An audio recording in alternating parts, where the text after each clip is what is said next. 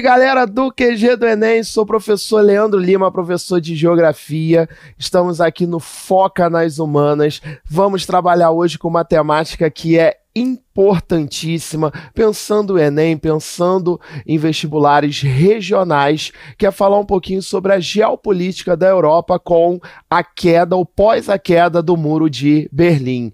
Lembrando que completa-se 30 anos da queda do Muro de Berlim agora em 2019 e isso acaba dando né, uma dimensão ainda maior. Muitas provas gostam né, de pegar um determinado fato, né, pegar uma determinada data comemorativa para que a partir desse fato é, você consiga analisar né, um processo maior dentro daquele determinado fato, beleza? Então vamos lá, mas antes disso, só uma dica para você. Se você ainda não segue o QG do Enem nas redes sociais, faz isso agora, tá? Tem sempre um conteúdo de altíssima qualidade para você. Então nos siga no Twitter, no Instagram, no Facebook, lá no YouTube, marca o sininho lá no YouTube para você receber sempre as notificações. Beleza? Então vamos lá. Joga aqui na tela, por gentileza, a geopolítica europeia após a queda do Muro de Berlim. Queridos, temos aí a imagem mostrando o que era o Muro de Berlim né, o Muro de Berlim, uma extensão aí próxima a 150 quilômetros. É curioso imaginar que o Muro de Berlim foi construído é, em apenas um dia, né? E justamente por isso muitas famílias acabaram sendo separadas. E você tem aqui duas imagens que já mostram esse muro de Berlim caindo, beleza? Vem aqui comigo, joga aqui para mim. Galera, antes de falarmos dessas transformações após a queda do muro de Berlim, eu só quero fazer um pequeno panorama, um contexto que levou à queda desse muro beleza? Estávamos num cenário de Guerra Fria, portanto, o um mundo bipolar, o planeta, o espaço geográfico com dois sistemas mundo, utilizando aí o conceito do Immanuel Varlins, tá, né, a teoria do sistema mundo. De um lado, um mundo capitalista liderado pelos Estados Unidos, do outro lado, o um mundo socialista liderado pela União Soviética. Nós vamos observar que esse cenário de Guerra Fria, ele é desenhado logo após a Segunda Guerra Mundial e nós vamos observar que durante as décadas de 40, 50 e 60, essas tensões, né, essa disputa ideológica entre as superpotências, elas ganharam dimensões cada vez mais volumosas. É válido falar que a década de 70 ela começa a marcar né, a vitória americana nessa disputa. De um lado, temos os Estados Unidos investindo pesadamente em tecnologia, o que vai culminar na terceira revolução industrial, e por um outro lado, temos a União Soviética insistindo em investir nos setores mais pesados, como por exemplo a siderurgia, e também nos setores bélicos. Galera, a partir dessa diferença que foi criada na década de 1970, você começa começa a verificar o mundo soviético entrando em colapso. E isso acaba se tornando uma realidade na década de 80. A década de 80 marca a crise no mundo soviético, a crise na própria União Soviética. Perfeita, União Soviética, ela já estava aí bastante desgastada, né? Os seus cofres estavam bastante é, quebrados, né? Estavam com muitos problemas, estava difícil manter essa estrutura tão grande que era a União Soviética. Em 1986 chega a liderança do Partido Comunista da União Soviética, um cara chamado Mikhail Gorbachev. Nós vamos observar que o Mikhail Gorbachev, quando assume a União Soviética, ele vai propor dois projetos amplos de modernização da União Soviética, perfeito? Um pacote de medidas econômicas chamada de perestroika.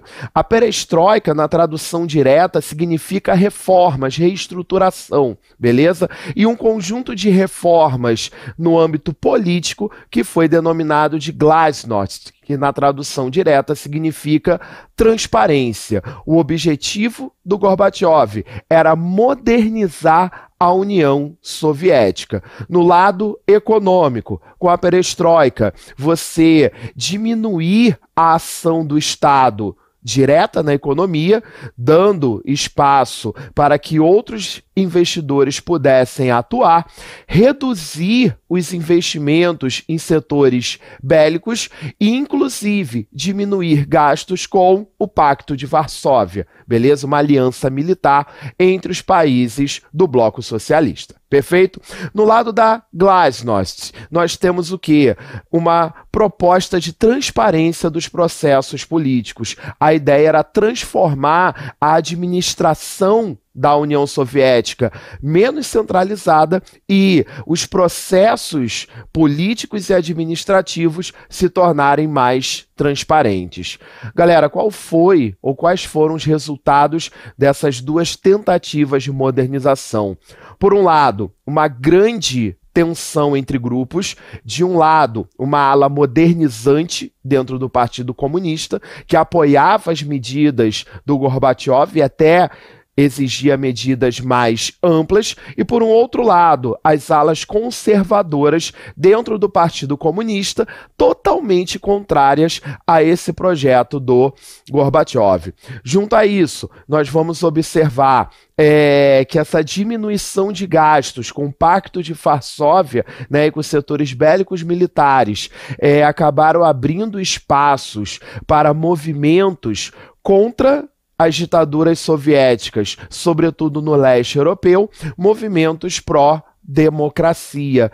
E junto com a Glasnost, né, esse processo é, de transparência política dentro da estrutura do regime soviético acabou consolidando esses movimentos contrários né, à manutenção de um regime tão centralizador, à manutenção de regimes socialistas. Então é diante desse cenário né, que você começa a ter nos países do leste da Europa a contestação dos regimes socialistas que a queda do Muro de Berlim vai se encaixar. Devemos lembrar que o Muro de Berlim é ou foi o símbolo, né, o grande símbolo da Guerra Fria, e quando o símbolo da Guerra Fria é derrubado, ele já traz indícios que a própria Guerra Fria está chegando ao seu final beleza? Nós vamos observar que no mesmo ano de 89, os soviéticos saem do Afeganistão, uma tentativa frustrada de intervir nesse país. É, alguns autores até gostam de comparar, né? O Afeganistão foi para a União Soviética, o que o Vietnã foi para os Estados Unidos durante a Guerra Fria, e nós vamos observar que em dezembro de 1991, o Mikhail Gorbachev ele sofre um golpe, né? O Boris Yeltsin vai decretar a proclamação da Federação Russa. Ele entende que não faria sentido pensar em União Soviética sem a Federação Russa, e no dia 26 de dezembro de 91, ele declara o desmantelamento da União Soviética, beleza? E a partir daí, a partir dessas duas datas, 89, caindo o Muro de Berlim, 91, fim da União Soviética, nós temos o quê? Nós temos o término dessa Guerra Fria. Então quero que vocês entendam que a queda do Muro de Berlim acontece exatamente nesse cenário. Um cenário de crise no bloco soviético, um cenário de extinção da situação de bipolaridade, iniciando a nova ordem mundial.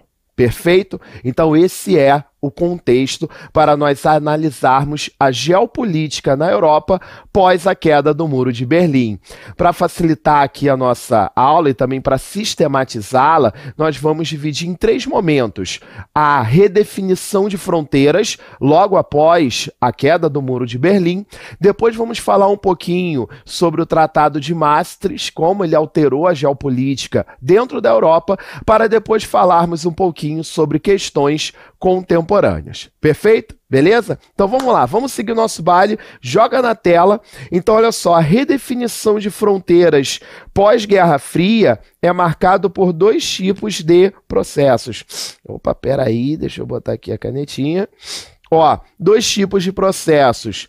processos de unificação, quando dois territórios se juntam, dois ou mais territórios, e processo de fragmentação territorial, quando você tem um território sendo partido em várias outras nações, beleza? Então nós vamos acompanhar esses dois tipos de processos acontecendo na Europa. Joga de novo na tela, tá? Olha só, temos aqui um mapa. Esse mapa está mostrando para gente como era a divisão das fronteiras até a queda do Muro de Berlim e a dissolução da União Soviética. Nós temos bem aqui, ó, o limite entre o que seria o mundo socialista e o mundo capitalista, perfeito, a chamada cortina de ferro. É válido sinalizar, ó, esse paizinho aqui, a Iugoslávia, já vamos falar sobre ele, beleza? Apesar de ser um estado que seguia um regime socialista, nós vamos observar que era um socialismo neutro, ou seja, pouco alinhado à União Soviética. Inclusive, ó, a Iugoslávia chegou a negociar a, o recebimento de capital do Plano Marshall, né, o plano de ajuda econômica que os Estados Unidos lançou para os países da Europa Ocidental. Beleza? Então nós temos aqui esse mapa indicando as fronteiras é, em épocas de Guerra Fria. Temos aqui um, uma dupla de mapas né, bem interessante que está mostrando justamente essas transformações aqui no leste europeu, beleza? Então, olha só, você consegue ver aqui claramente a unificação do território da Alemanha, beleza? Compara, ó, aqui nós temos a República Federativa da Alemanha ou Alemanha Ocidental e aqui a República Democrática da Alemanha ou Alemanha Oriental a Alemanha socialista, beleza? Aqui você já tem esse território unificado. Aqui, ó, perceba o território da União Soviética. Aqui você já consegue ver, ó, o território da Bielorrússia, o território dos países bálticos, Estônia, Letônia e Lituânia, e também o território ucraniano, perfeito? Já fora dessa União Soviética. Você consegue aqui também ver ó, claramente o território da antiga Iugoslávia, perfeito, totalmente fragmentado, totalmente dividido, beleza? Então nós temos aqui algumas das principais transformações que vão acontecer nessa Europa, beleza? Então olha só, vem aqui comigo.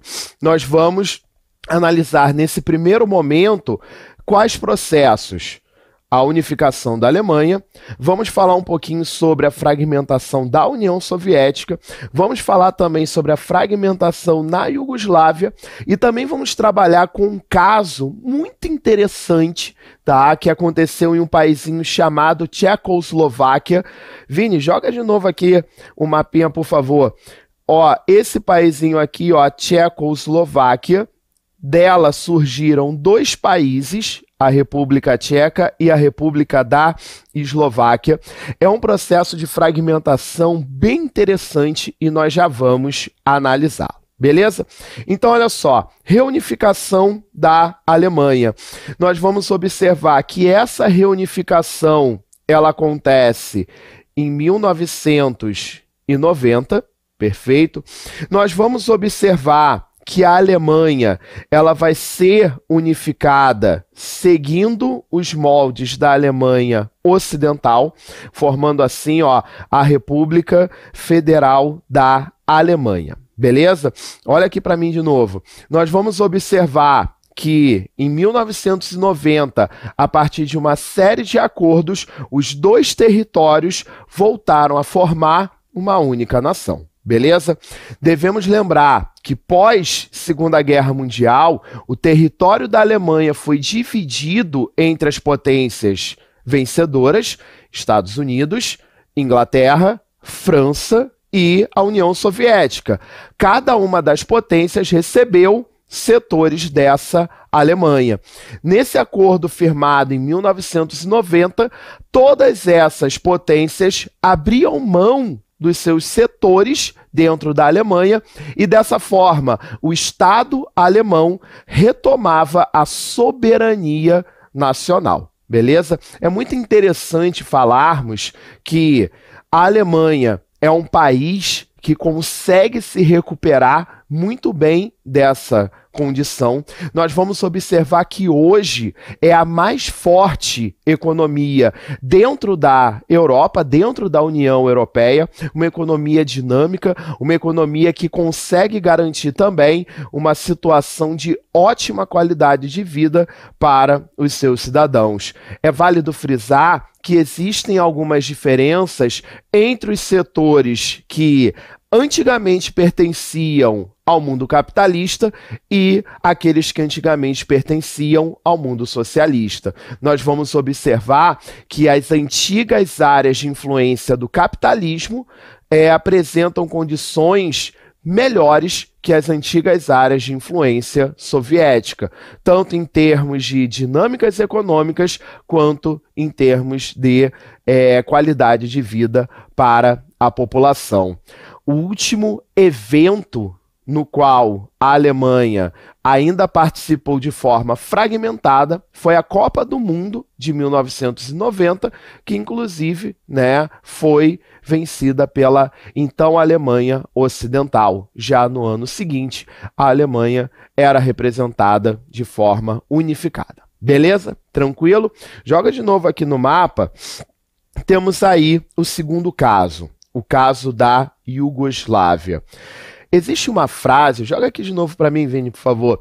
É, existe uma frase que era muito comum na Iugoslávia que falava o seguinte: Iugoslávia, seis repúblicas, cinco etnias, quatro línguas, três religiões, dois idiomas, um partido nós vamos observar que a República da Iugoslávia era um verdadeiro caldeirão de etnias e grupos religiosos. E vamos observar que após a Segunda Guerra Mundial, os inúmeros territórios que ali existiam foram unificados como Iugoslávia, né, a grande nação balcã. Nós vamos observar que esse processo foi possível graças, né, às ações de Joseph Broz, o marechal Tito, que utilizou a força era um governo extremamente centralizador, beleza? Era um regime ditatorial.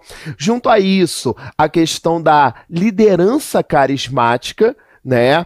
Ele utilizava um sistema de alternância de poderes entre as etnias para tentar manter algum tipo de equilíbrio, e ele também utilizou muito a ideia do ideal comunista de igualdade. Então ele começou a lançar exatamente esse discurso. Mais importante do que você ser sérvio ou você ser albanês, o mais importante que isso é você ser um cidadão da Iugoslávia.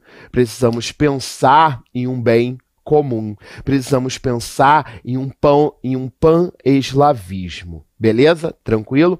E foi justamente por isso, joga aí na tela, é, que nós temos essa grande nação sendo unificada. O antigo reino da Sérvia, Croácia e Macedônia virou a Iugoslávia. Perceba que esse país aqui ele foi fragmentado, beleza?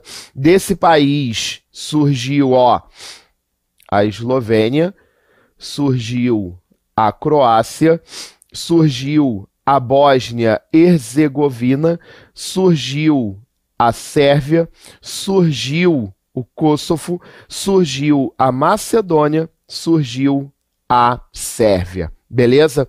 Olha só, é válido destacar, vem para mim, que esse processo foi um processo extremamente turbulento, certo? Com a morte de Tito, com a queda do sistema soviético, né, a queda do mundo soviético, é, a queda dos ideais né, soviéticos, é, você vai observar que após essa derrubada, essa morte de Tito, é, você começa a ter um fervilhão de nacionalismos, cada grupo tentando se auto-administrar.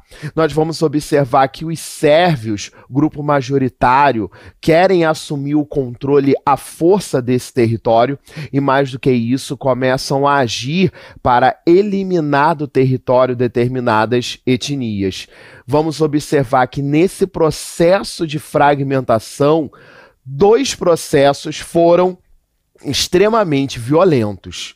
Nós temos o caso da Bósnia, que vai acontecer a partir de 1991 e estende-se até 1990.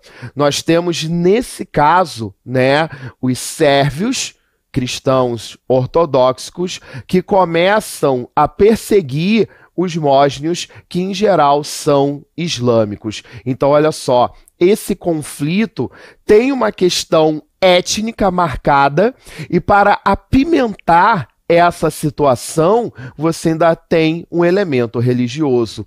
É válido lembrar que esse conflito é classificado como genocídio. E aí você vai lembrar que o genocídio é uma categoria de guerra que vai envolver a perseguição étnica. Então, o genocídio ele é compreendido como limpeza étnica, quando um determinado grupo étnico tenta varrer do território outras etnias que porventura existam. Beleza? Nós vamos observar que somente em 95 essa questão começou a ser resolvida por uma coalizão internacional que conseguiu estabilizar esse território os bósnios conseguiram legitimar a sua independência, pautados aí no princípio da autodeterminação dos povos. Perfeito? Um outro processo que foi também extremamente sangrento foi na região do Kosovo. Você também tem essa questão das etnias e você também tem essa questão da divergência religiosa. De um lado, os cristãos ortodoxos sérvios, de outro lado, né, o kosovar, que em geral segue também o islamismo. Vamos observar que isso acontece em 1998, mais uma vez, foi necessário uma coalizão internacional para frear esse genocídio. É válido dizer que a liderança sérvia, o Slobodan Milosevic, ele foi preso, ele foi levado ao tribunal de Haia, na Holanda, tribunal esse que vai julgar todos os crimes de guerra. Ele foi julgado, ele foi punido, ele ficou preso nas celas de Haia e ele misteriosamente aparece morto da noite para o dia, né, possivelmente um envenenamento. Beleza? O caso de Kosovo também é um caso de genocídio.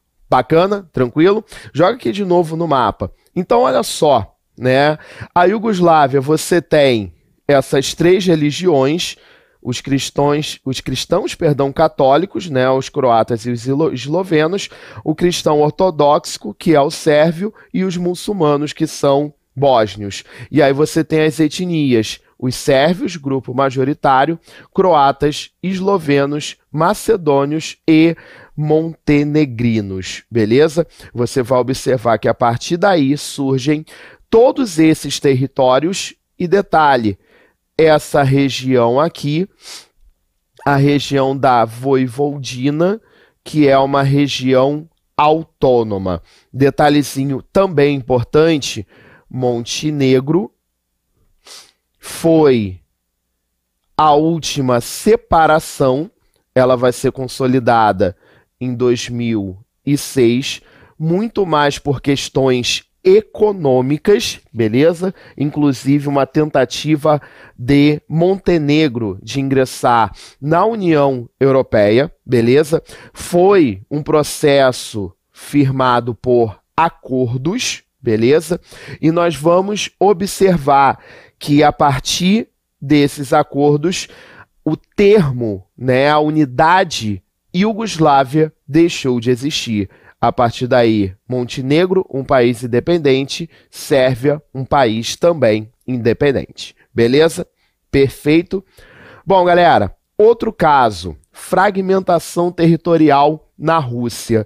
Nós vamos observar que o extenso território soviético, parte do território europeu, parte do território asiático. É válido lembrar o seguinte, joga aqui para mim, Vini, por favor.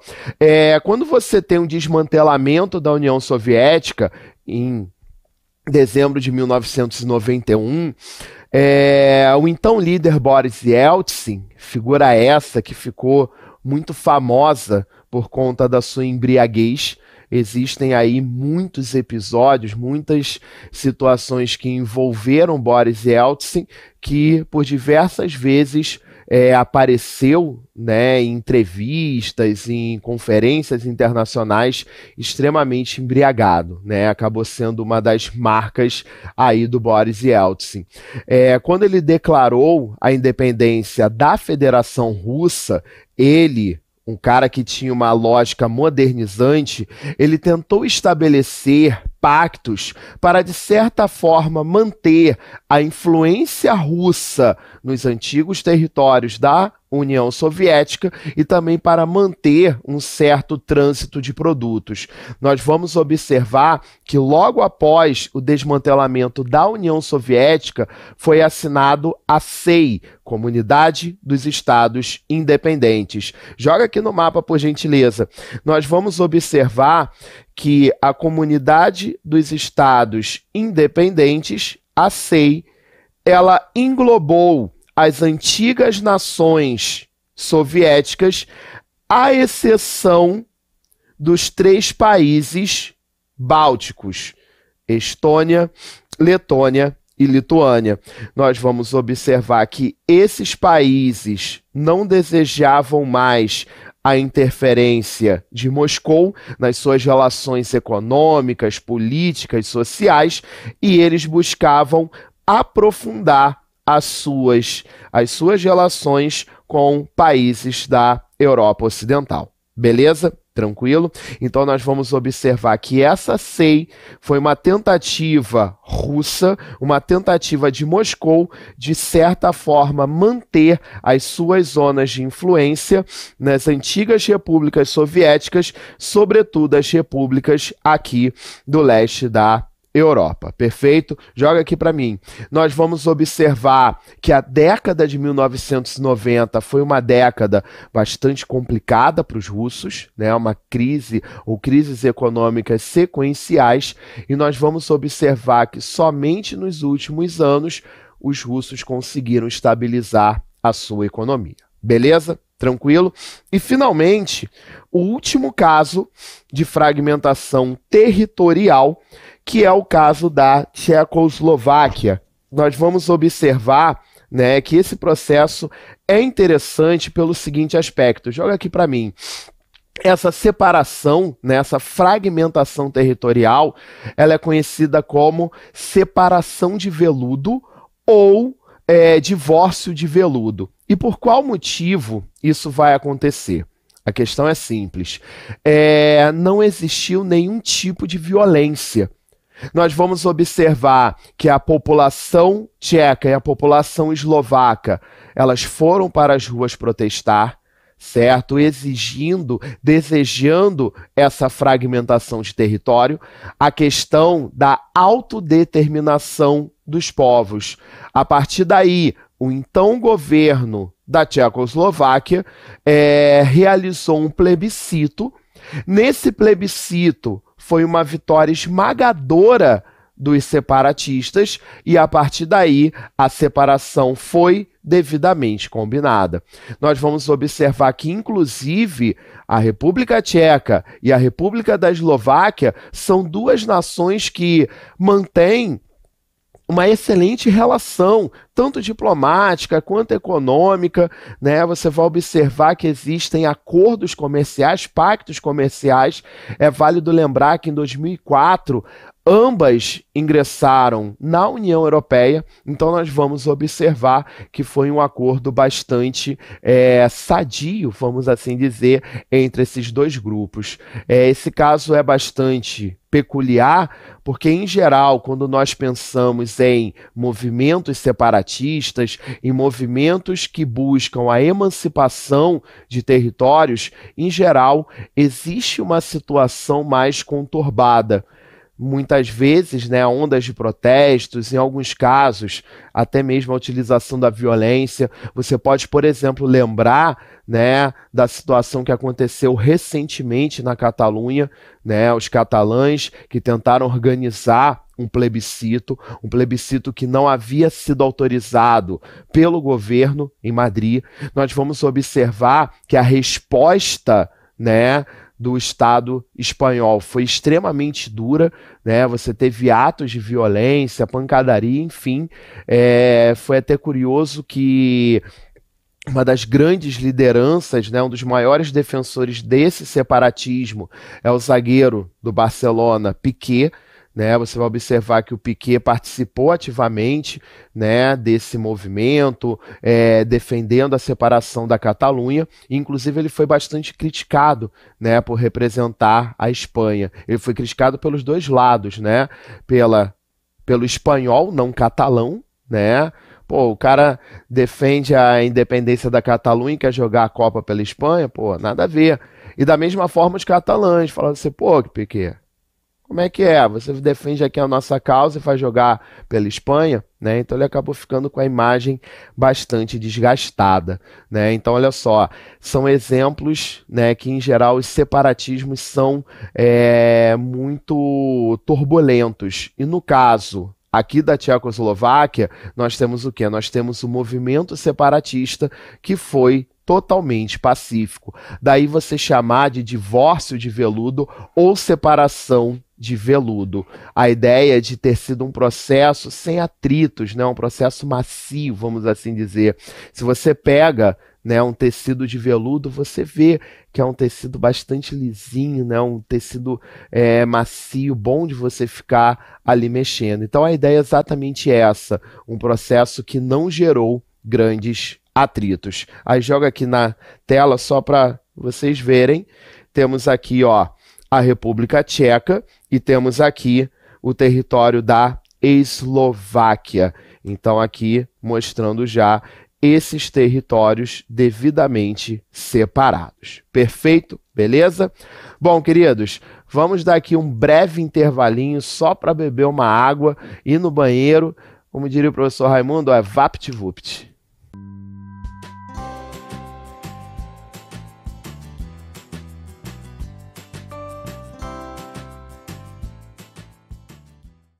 Fala aí, galera do QG do Enem, estamos de volta. Eu falei que era VaptVupt, eu falei que era extremamente rápido, era só mesmo para beber uma água. É, vamos seguir aqui o nosso baile falando aí sobre a geopolítica europeia pós queda do Muro de Berlim. Beleza? Então, no primeiro bloco, é, trabalhamos com é, o cenário, né, o contexto de queda desse muro de Berlim e falamos um pouquinho da redefinição de fronteiras após a queda desse muro de Berlim. Perfeito? Queridos, nós vamos agora falar um pouquinho sobre um dos tratados que mais modificaram as relações econômicas, políticas, sociais, culturais dentro desse continente. Perfeito? Nós vamos observar, joga aqui na tela, que em 1991 é assinado o Tratado de Maastricht. Nós vamos observar que o Tratado de Maastricht ele vai dar um novo formato ao processo de integração europeu, é, perdão, processo de integração europeia. Nós vamos observar que o antigo mercado comum europeu é transformado numa união econômica. Essa união econômica chamada aí de União Europeia. E nós vamos observar que a partir daqui uma série de acordos começam a ser firmados visando que aprofundar a integração entre os países signatários desse acordo. Perfeito? Então joga aqui para mim. Até 1991 era mercado comum europeu. Beleza? A partir de 91, você vai falar sobre União Europeia.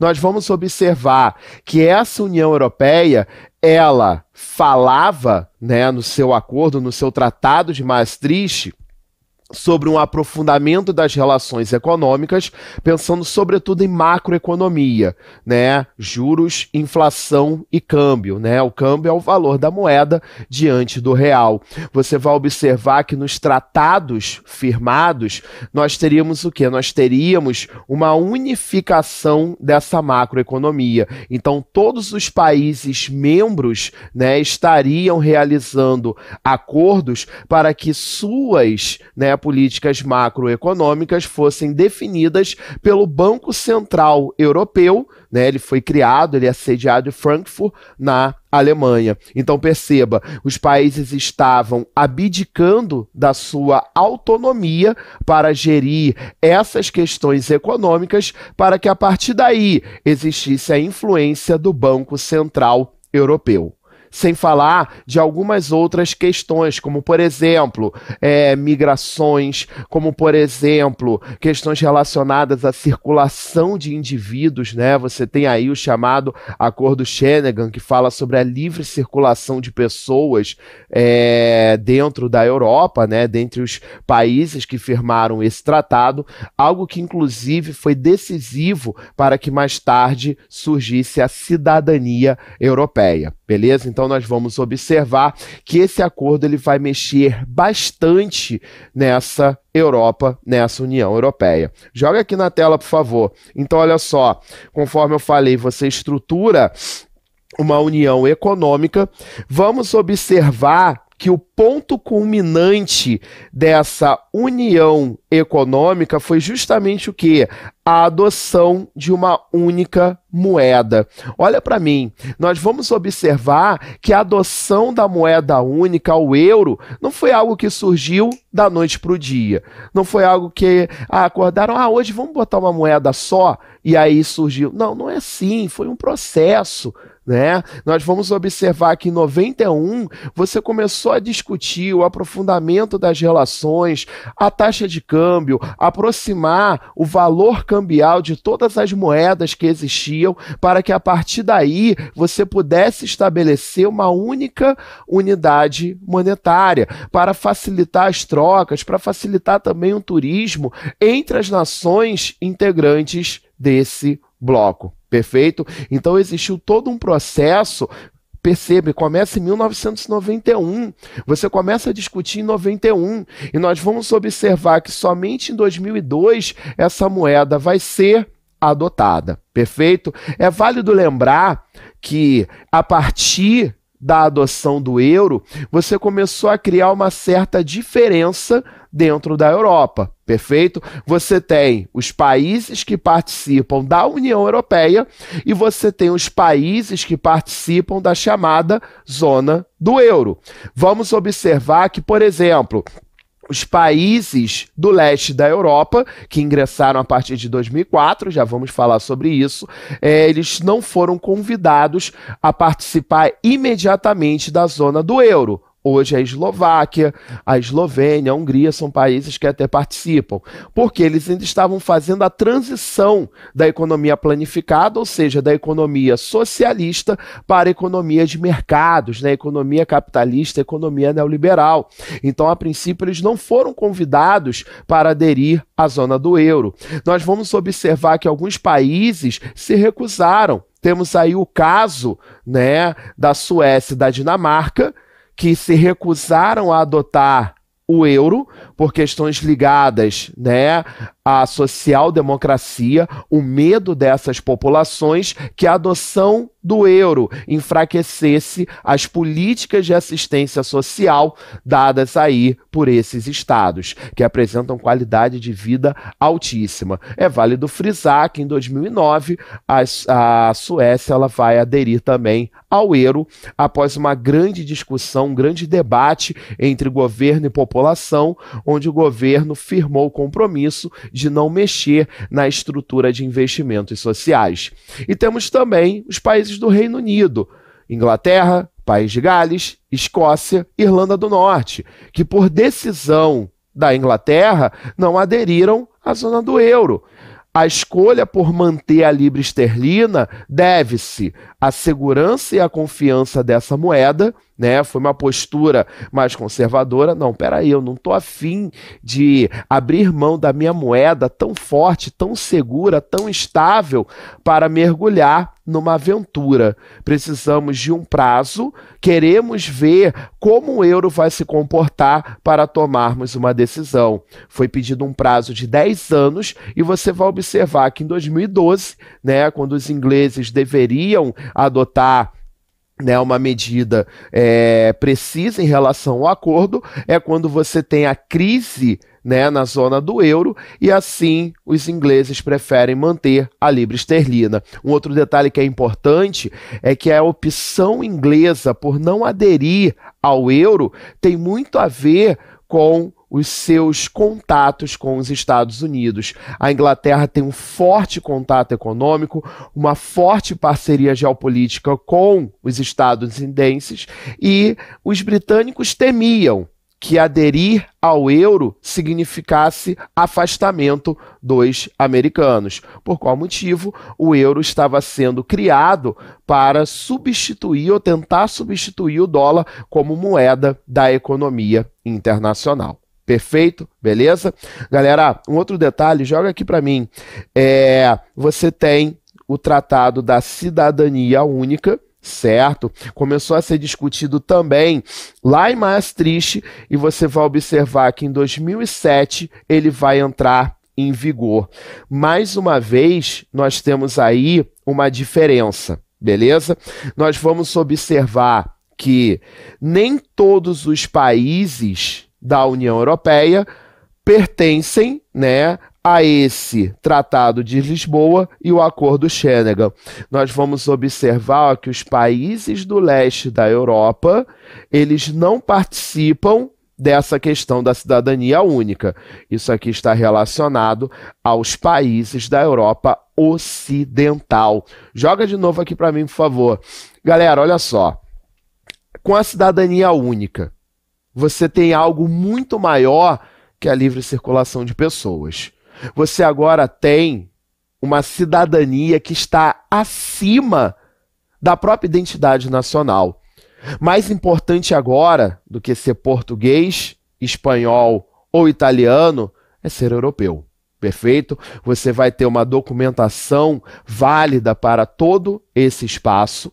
Inclusive, se um português estiver morando na Itália, ele pode participar dos processos eleitorais na Itália. Porque antes da questão da Itália, você tem a Europa. Então, esse cara, como cidadão europeu que está vivendo na Itália, ele tem todo o direito de participar desse processo político. Perfeito? Nós vamos observar que aconteceu uma mudança muito grande no futebol europeu. Né? A FIFA ela tem regras que limitam a quantidade de estrangeiros que podem ser escalados em uma partida. São três. Com a cidadania única, nós vamos observar que um jogador português na Inglaterra ele não seria mais um estrangeiro. Um jogador alemão na Itália, ele não seria mais um estrangeiro.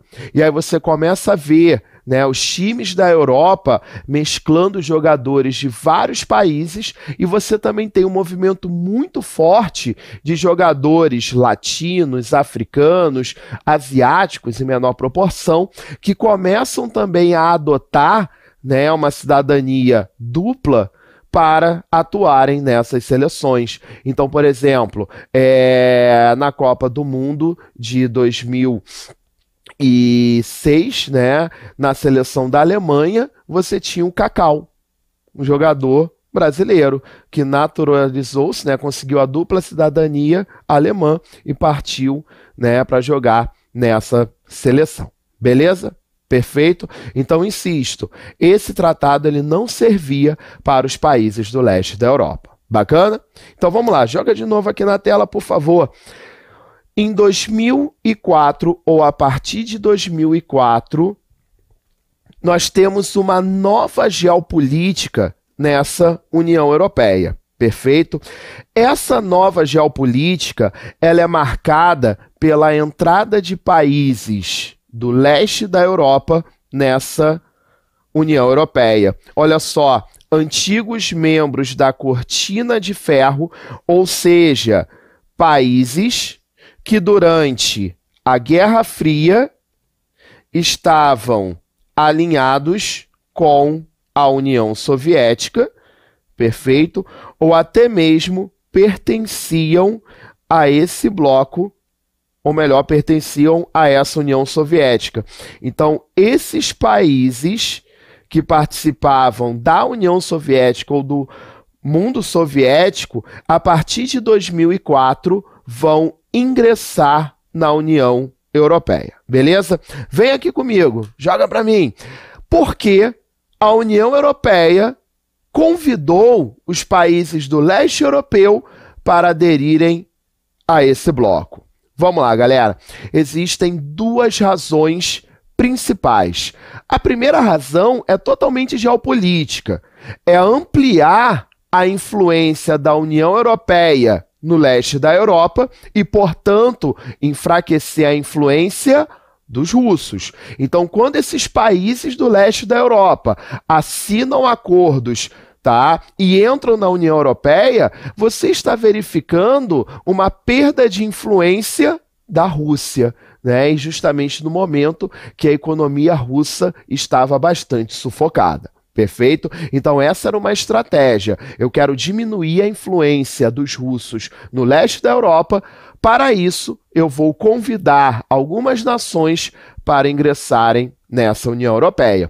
Em segundo lugar, tem uma questão econômica, tem a ver com a reterritorialização produtiva. Veja bem, inúmeras fábricas francesas, alemães, italianas começaram a fechar as suas unidades produtivas na Europa para buscarem condições mais vantajosas na semiperiferia, em destaque sudeste da Ásia território chinês.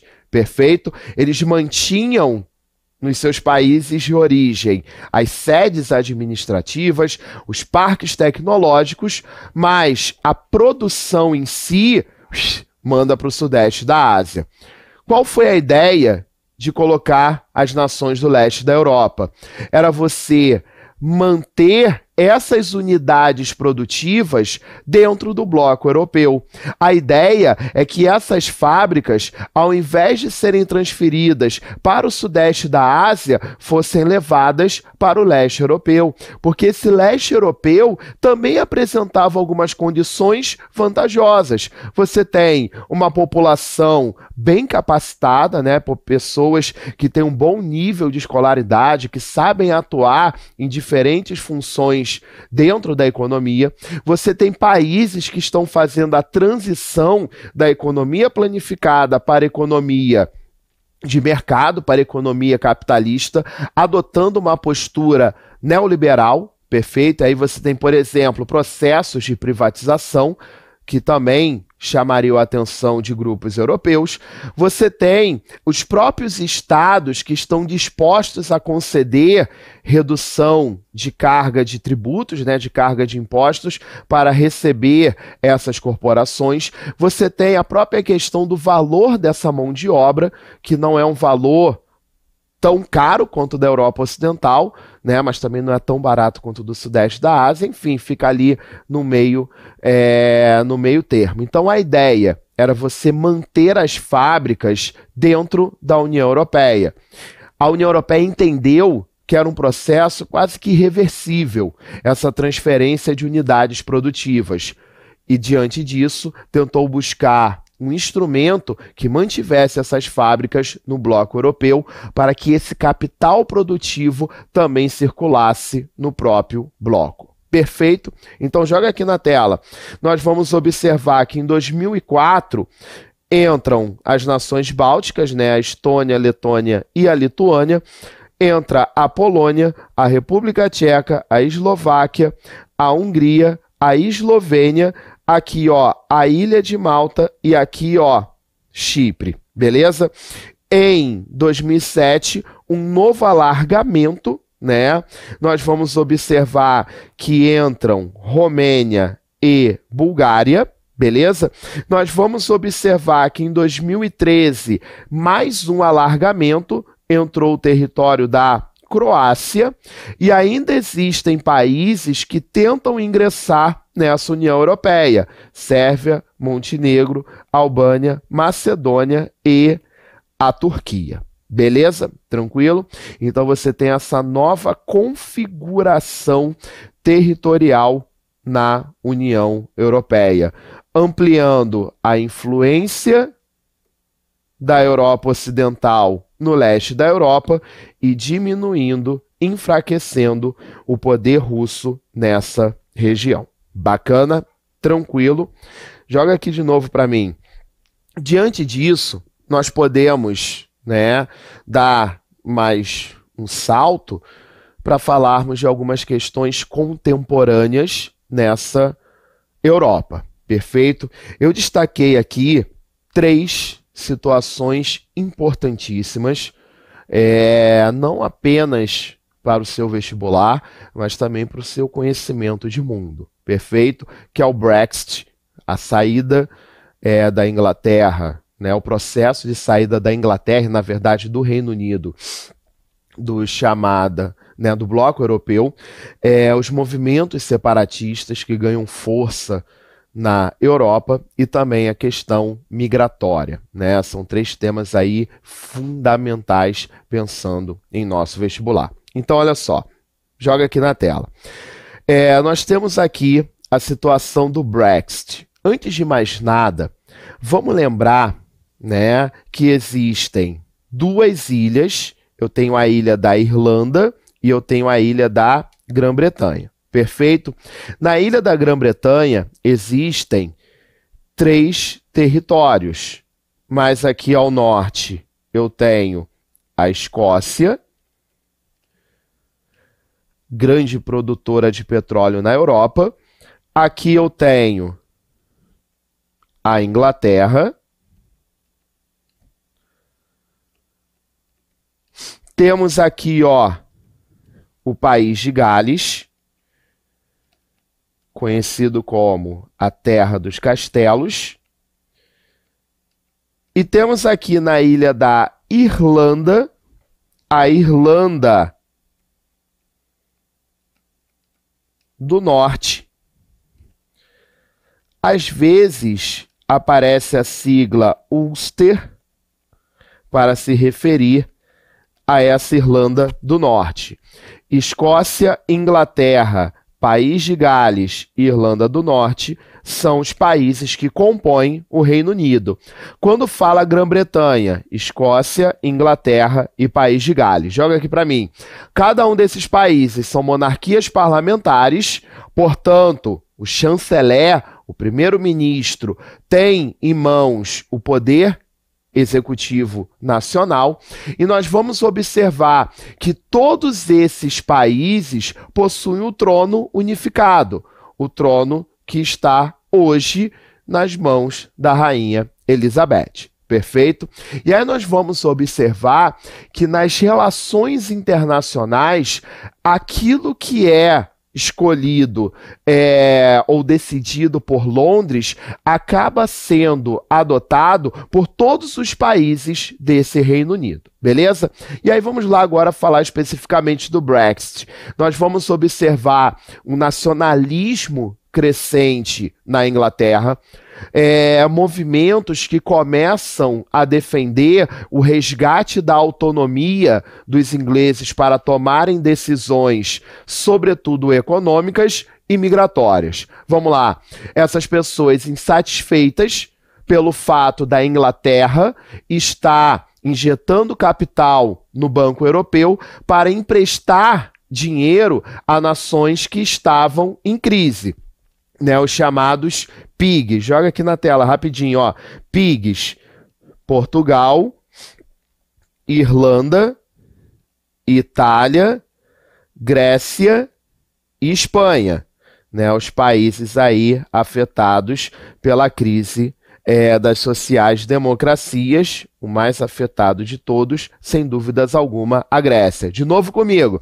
Então nós vamos observar que nesse contexto, né, eu tenho é, a população insatisfeita, ou parte da população insatisfeita, né, com o fato do governo inglês estar injetando capital para é, dar apoio né, para tentar sustentar essas nações em crise.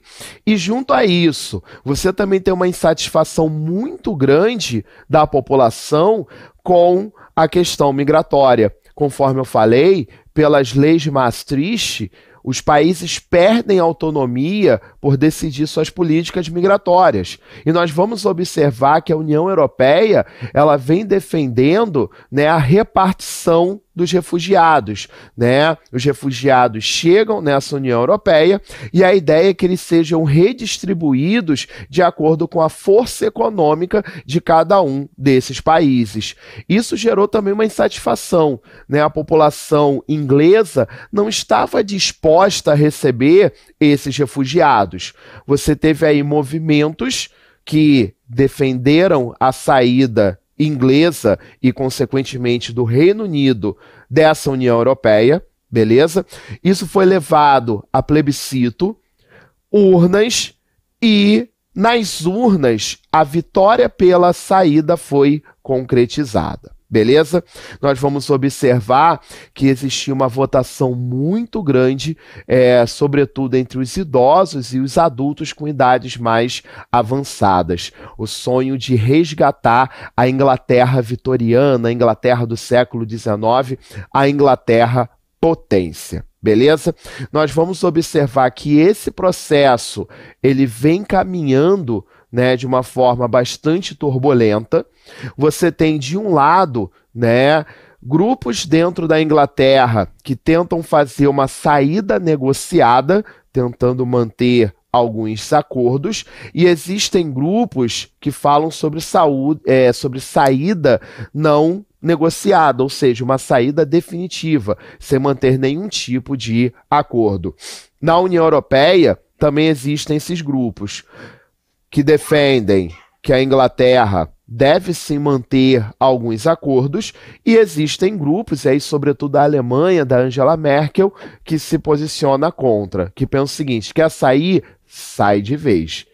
Vai sair perdendo todos os acordos que foram firmados até aqui. Beleza? Então, essa é uma questão que vem se arrastando ao longo desse ano de 2019. Perfeito?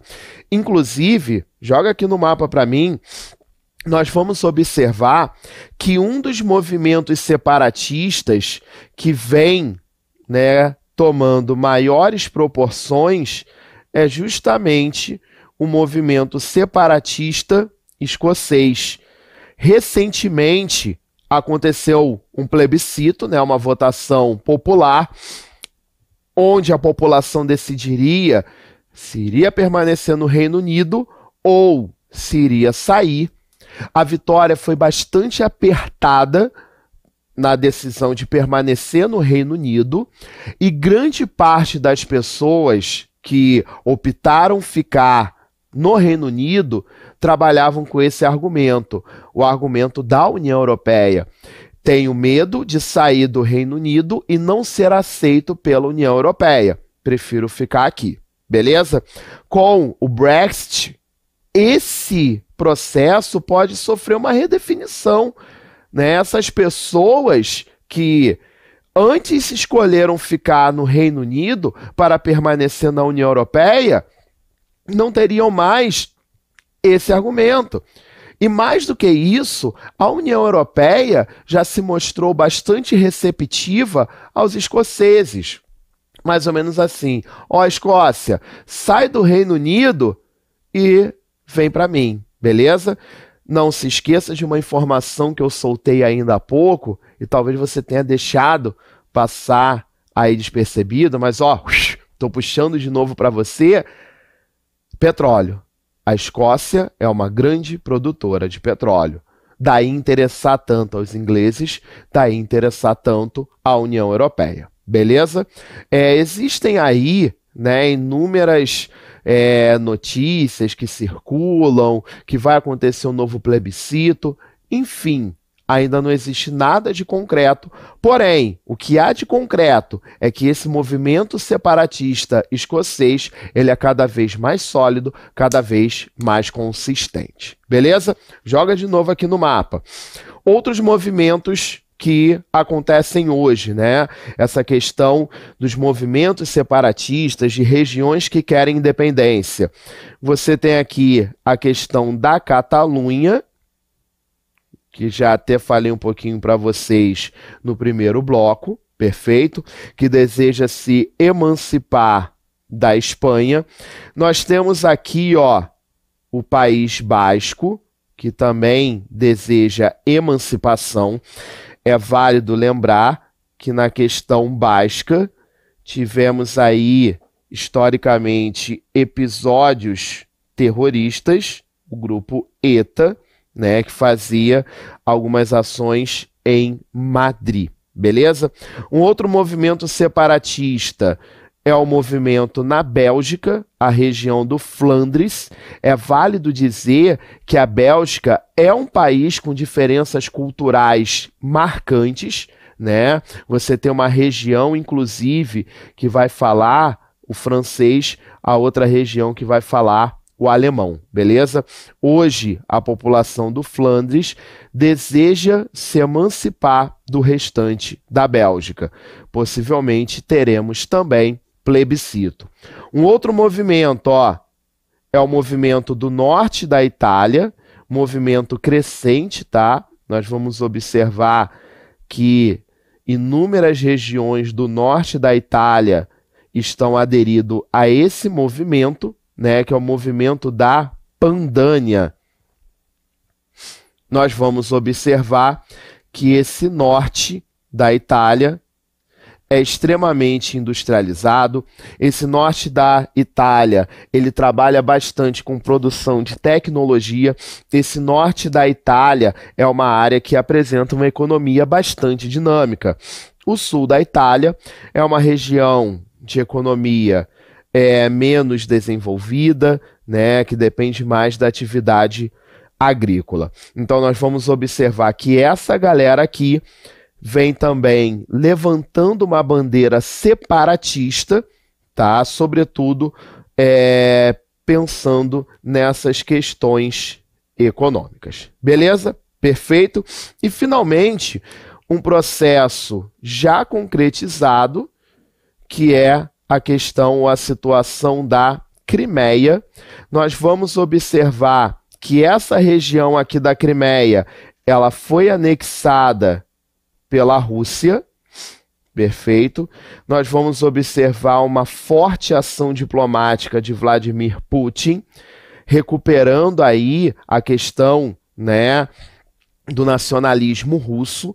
Essa região, apesar de ter pertencido à Ucrânia, tinha uma população de maioria russa, e essa grande população russa, né, essa maioria, né, essa população majoritária, é, em plebiscito, apoiou né, a anexação ao território da Rússia. É válido falar que essa região aqui é super interessante para os russos, sobretudo por questões ligadas a recursos naturais e destacadamente, destacadamente por questões portuárias. Ó, Mar Negro, você tem a possibilidade de chegar ao mar Adriático e finalmente estar no mar Mediterrâneo. Perfeito? Seria ou vai ser, vai se transformar em uma importante rota para escoamento da produção russa pelo Mediterrâneo. Beleza? Tranquilo?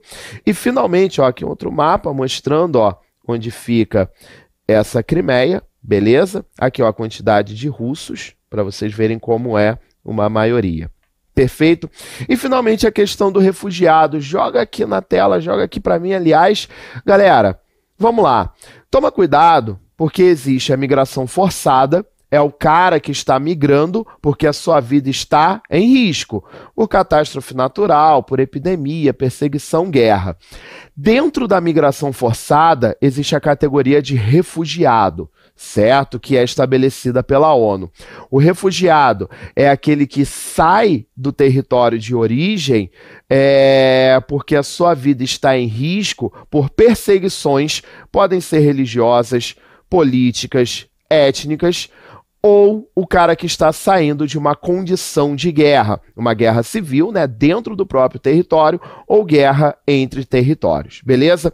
Nós vamos observar que a Acnur, o Alto Comissariado das Nações Unidas para Refugiados, define que os países são obrigados a dar asilo a esses refugiados quando eles entram no território. Beleza?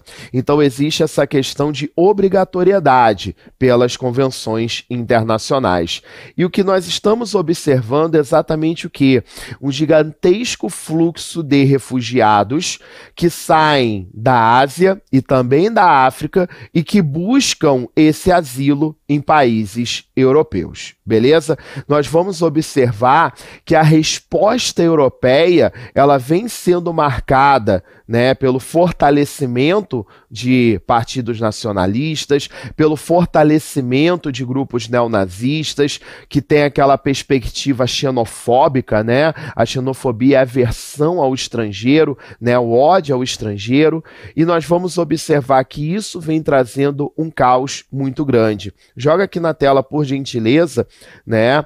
Você vai observar aqui algumas das rotas. A Turquia, o elo entre a Europa e a Ásia, né? Bem aqui você teria o território da Síria e aqui você tem algumas rotas, né?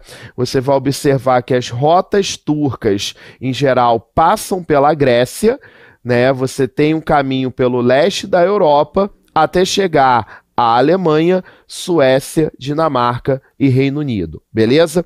Você tem aqui, ó, a rota do, Egípcio, do Egito, perdão, da Líbia e da Tunísia. Lembrem, países da Primavera Árabe, beleza? Que entram sobretudo pela Itália e a, permanece na Itália ou tentam também se deslocar para esses países, perfeito? A reação, ó, húngaros falam sobre muros. Eu tenho os sérvios falando sobre muros o austríaco falando sobre muros. Em todos esses países, a participação dos partidos xenofóbicos na gestão é bastante ampla beleza? E aí você começa a falar de uma crise humanitária nessas pessoas que estão tendo dificuldades em entrar. Detalhe: a Grécia em crise é uma importante rota de entrada, porque os gregos não conseguem proteger o seu mar territorial, justamente pela questão da escassez de recursos. Beleza? Então você tem aí essa gravíssima questão dos refugiados. Um último detalhe né? Chegando à nossa reta final, já até extrapolei o tempo um pouquinho, mas não tem problema, só um pouquinho, só um pouquinho mais de paciência comigo. Olha só, é, nós vamos observar que a situação de refúgio ela não é uma situação permanente, ela é temporária. Né? As leis dizem o seguinte: é, quando a situação que motivou a saída desses indivíduos do território de origem for estabilizada, os países que concederam o asilo, eles podem fazer o repatriamento, ou seja, essas pessoas podem ser devolvidas ao território de origem. Cabe ao país que concedeu o asilo escolher. Não, pô, esse cara já está aqui há algum tempo, criou laços, é importante, quero que ele fique. Ou o país escolher pelo repatriamento. Perfeito? Beleza? Nós vamos observar que hoje existe uma situação de repatriamento que gera uma polêmica muito grande. O governo russo de Vladimir Putin está repatriando sírios e a questão é muito simples. Rússia e Síria são aliados históricos. Você vai observar que Bashar al-Assad, ditador sírio, tem uma relação muito próxima com o Vladimir Putin. O Vladimir Putin, né, e na verdade o governo russo, entende que o motivo que levava a saída dessas pessoas era a atuação do Estado Islâmico e que esse Estado Islâmico hoje encontra-se sufocado, perdeu territórios, né? O regime sírio conseguiu se restabelecer após uma ação internacional. Dessa forma, o governo russo entende que a situação que fazia o sírio abandonar o país para pedir asilo, ela foi estabilizada. E que o governo da Síria precisa dessas pessoas para se reconstruir né, numa situação de ondas migratórias, você tem uma grande diminuição da PEA, população economicamente ativa. Então, o governo russo está repatriando esses sírios que estavam no seu território. Muito criticada essa reação né, dos russos, até porque a Síria ainda se encontra numa condição bastante complicada, ainda existem grupos lutando contra a ditadura de Bashar al-Assad e daí surge essa repercussão internacional. Beleza? Tranquilo? Galera, foi um grande prazer estar com vocês aqui nessa noite de terça-feira.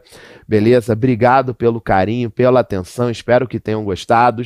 Mais uma vez, ó, siga o QG do Enem é, nas nossas redes sociais. Se você quiser, me segue também lá no Instagram, prof.leandrolima. Beleza? Muito obrigado, uma ótima noite, uma linda semana. Valeu!